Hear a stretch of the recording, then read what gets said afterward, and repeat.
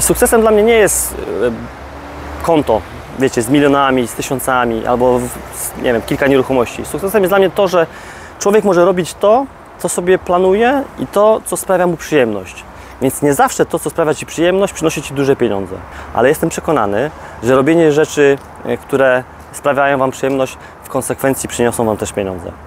Tyle tytułem. Cześć moi drodzy, nie było mnie ostatnio dosyć długo, kilka albo nawet kilkanaście dni i tak naprawdę słuchajcie, nie miałem czasu, żeby nagrywać, chociaż chciałem Wam pokazać, jak się buduje taras, jakie rzeczy robię w międzyczasie, ale intensywność tych rzeczy, które miałem na głowie spowodowała to, że po prostu nie miałem nawet może chęci miałem, ale nie miałem mm, okoliczności, aby chwycić za kamerę i nagrać Wam kolejny odcinek. Teraz mam, jest godzina 8.15, mamy czwartek. Jutro jadę mm, w jedno miejsce na obejrzeć nieruchomość, ale to jest mało istotne. Istotne jest to, słuchajcie, że ten domek z tyłu, który widzicie, z tym bałaganem z boku, e, jest wykańczany teraz przeze mnie i przez mojego kuzyna Wojtka, e, który mi zawsze pomaga. Wojtek, dzięki z góry za Twoją pomoc. E, Prawdopodobnie go sprzedam. A jak go nie sprzedam, to go zostawię. A jak go- zostawię, to będę go wynajmował. Jest wiele opcji, które możemy brać pod uwagę, które ja biorę pod uwagę, ale najważniejsze jest to, że doszedłem do pewnych wniosków, moi drodzy, takich, że skoro ja już w jakiś sposób realizuję swoje zamierzenia, swoje cele, pomyślałem sobie, że czas na następną osobę, czas na kogoś mi najbliższego, i jeśli najważniejszą osobą w moim życiu jestem ja sam, myślę, że u Was może być podobnie, to kolejną osobą jest Twoja partnerka, partner, nie wiem, rodzeństwo, e, rodzice. Ja postanowiłem, że muszę teraz, chcę, a nie muszę, chcę e, pomóc mojej małżonce, aby lepiej, aby tak ciężko nie pracowała. I doszedłem do wniosku, że moja, słuchajcie, moja żona pracuje na etacie, wstaje o 5 rano razem ze mną, idzie do pracy, wraca z pracy, opiekuje się naszymi dziećmi na maksa, jak to jest tylko możliwe. W międzyczasie rehabilitacja, jeszcze innych zajęć. Jak wiecie, mieliśmy dwa zabiegi u dwóch naszych córek, więc to wszystko jest dosyć mocno in, in, zintensyfikowane. I pomyślałem sobie, że teraz chciałbym, aby moja żona pracowała mniej. I myślę nad tym, co mogę zrobić, aby właśnie to się e, ziściło.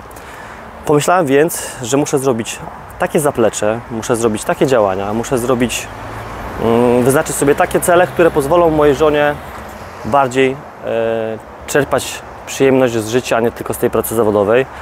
I teraz nie wiem, czy to jest dobre, że mówię to publicznie, bo niektórzy mogą powiedzieć, po co się Kamil tym dzieli e, ze społecznością, ogólnie z innymi. A to dlatego, moi drodzy, że może ktoś z Was będzie miał podobne podejście jak ja.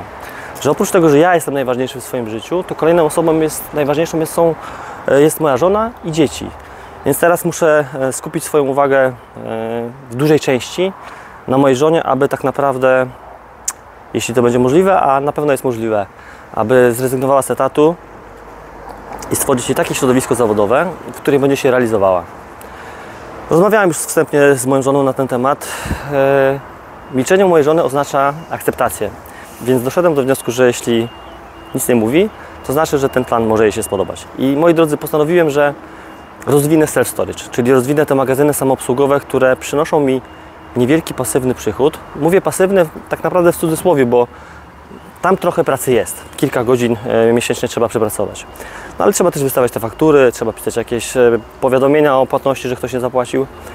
I chciałbym rozwinąć ten self-storage w takim znaczeniu, aby przejęła ten magazyny samoobsługowe moja żona.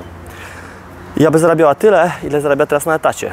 Nie będzie to łatwe, bo no, musiałbym zwiększyć dwukrotnie albo trzykrotnie e, swoje przychody z magazynów samoobsługowych, aby starczyło tak naprawdę na takie normalne życie, normalne funkcjonowanie e, naszej rodziny, mojej żony i tak dalej. Właśnie nie wiem, czy ja dobrze robię, że to o tym mówię, bo mam nadzieję, że żona tego nie obejrzy, ale myślę sobie, że jak obejrzy, to chyba to doceni. E, Wyznaję Wam trochę takich swoich szczerych przemyśleń, na to, dlatego że uważam, że niektórzy mówią, że nie warto mówić tego, co się chce zrobić publicznie, a ja uważam, że nie, że trzeba, bo jeśli ktoś jest przekonany do swoich racji i ktoś sobie coś postanowił w swojej głowie, to uwierzcie mi, że jeśli wypowiecie pewne rzeczy, które chcecie zrobić na głos, a jeśli sobie powiecie to na głos, to wszelkie zdarzenia, które będą miały, mm, które będą występowały w przyszłości, będą działały na Twoją korzyść. Skąd to wiem? No, ja tego doświadczam, dlatego się tym dzielę, ponieważ uważam, że to jest ważne, żeby ludzie, którzy po prostu chcą coś zrobić ze swoim życiem, mogli to robić w takim znaczeniu, być może za moim takim małym, e, być może za taką małą, małą moją podpowiedzią, że jeśli coś powiemy i zakodujemy sobie to w głowę, w sensie takim, słuchajcie, mówiąc, może nie zakodujemy, a jeśli uwierzymy i będziemy o tym myśleć, to nasz umysł, nasz mózg, uwierzcie, i okoliczności, które będą się nadarzały, będą sprzyjały temu, czemu, czego chcemy osiągnąć. Tyle, moi drodzy. Więc ja postanowiłem, że będę rozwijał ten self-storage, a później chciałbym, żeby moja żona go przejęła, a ja po prostu będę robił inne kolejne rzeczy, które w rzeczy samej e, będą pozwalały nam jeszcze iść do góry, żyć lepiej, żyć e, przyjemniej, e, mniej pracować i korzystać z tego życia bardziej, mm, tak bym powiedział, rodzinnie niż tylko zawodowo.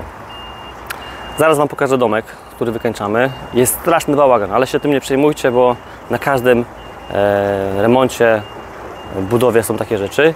Jest to bardzo mały domek, jak Wam przypominam, który ma, słuchajcie, 3 na 3 metry. Myśliłem, że tam właśnie będzie taki mały aneks kuchenny, tam jest łazienka, e, tu będzie łóżko, tam będzie jakiś schowek, e, no i tu będą pewnie jeszcze jakieś e, szafki, komoda, cokolwiek innego.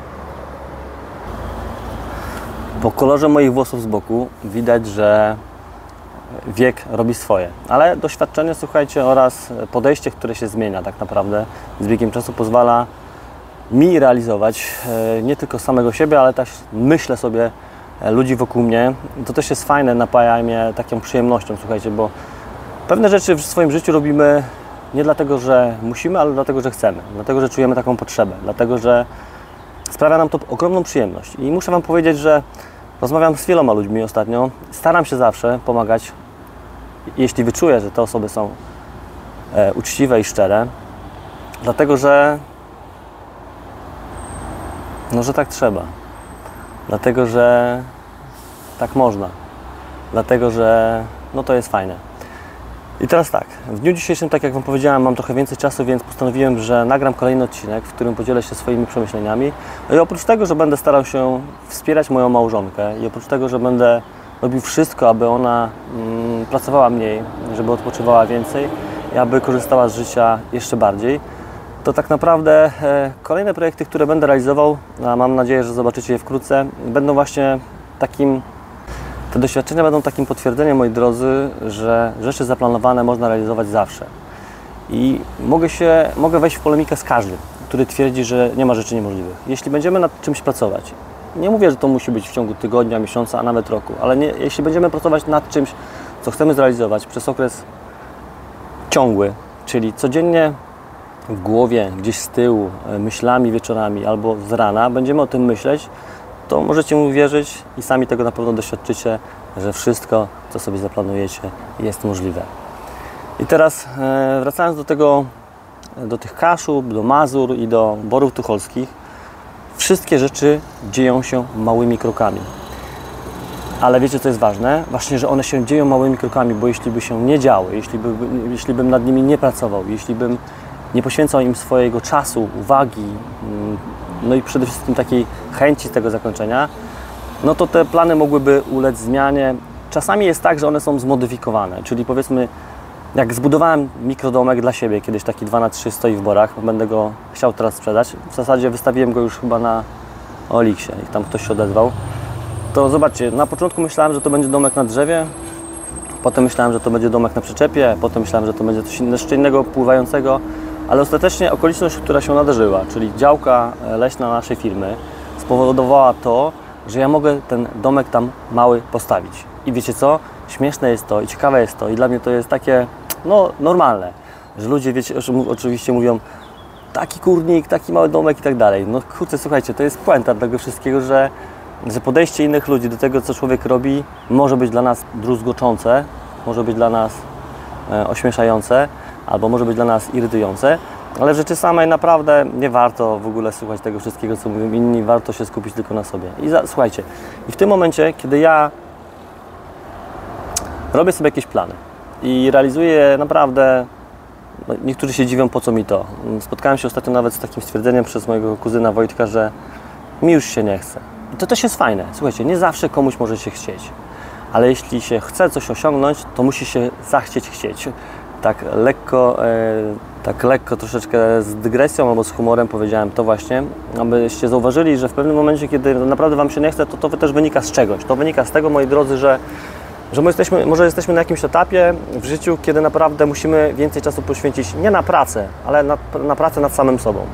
Bo jeśli nie skupimy swojej uwagi najpierw nad sobą, abyśmy potem mogli robić to w rzeczywistości, na zewnątrz, wśród innych ludzi, dla innych ludzi, to nie będziemy w stanie tego zrobić. Więc ja uważam, moi drodzy, że hałas, samochody jeżdżą. Więc ja uważam, słuchajcie, że oprócz tego, że najważniejszą osobą w moim życiu jestem ja sam i potem, tak jak Wam powiedziałem, moja żona i moje dzieci, i potem kolejne, kolejni członkowie rodziny, to ważne jest to, żeby też e, innym ludziom, jeśli jest taka okoliczność i sposobność, pomagać. Ta, ta karma zawsze wraca, słuchajcie, bo to nie ma tak, że ona nie wraca. Ona wróci do Was za miesiąc, za rok, za dwa, za trzy, za pięć. Ale rzeczy same, jeśli będziecie się budzić każdego poranka i będziecie wiedzieli, że się realizujecie w swoim życiu i będziecie czuli taką chęć i przyjemność z życia, to oznacza, że osiągnęliście największy sukces.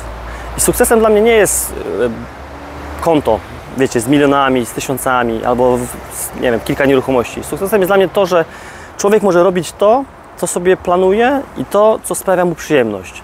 Więc nie zawsze to, co sprawia Ci przyjemność, przynosi Ci duże pieniądze. Ale jestem przekonany, że robienie rzeczy, e, które sprawiają Wam przyjemność, w konsekwencji przyniosą Wam też pieniądze. Tyle tytułem wstępu.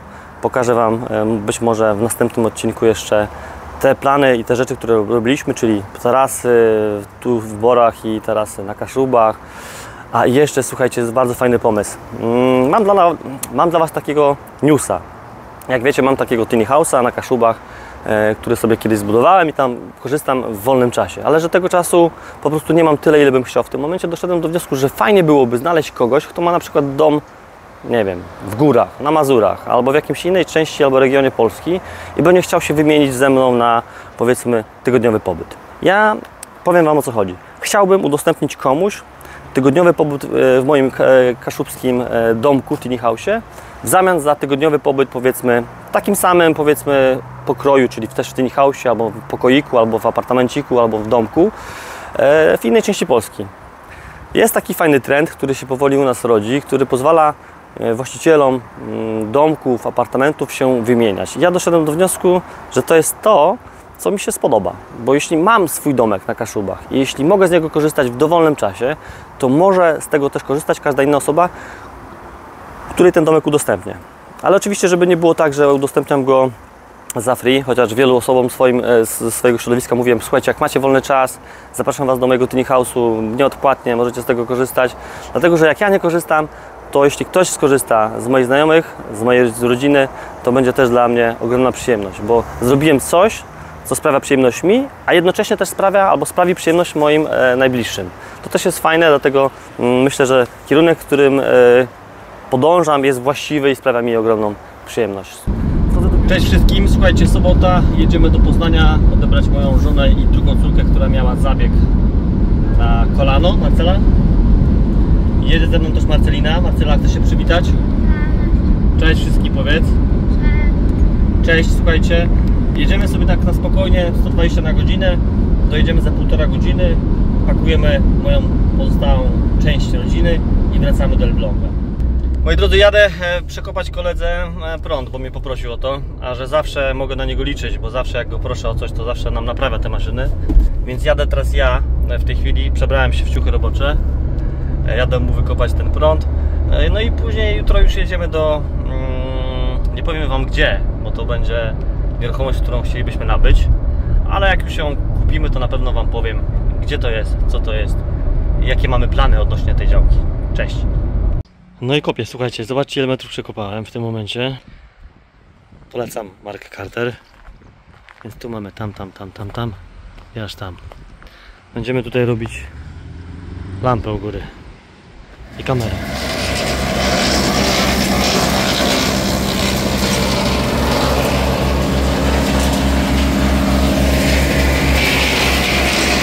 Były tu gałęzie, teraz ich nie ma.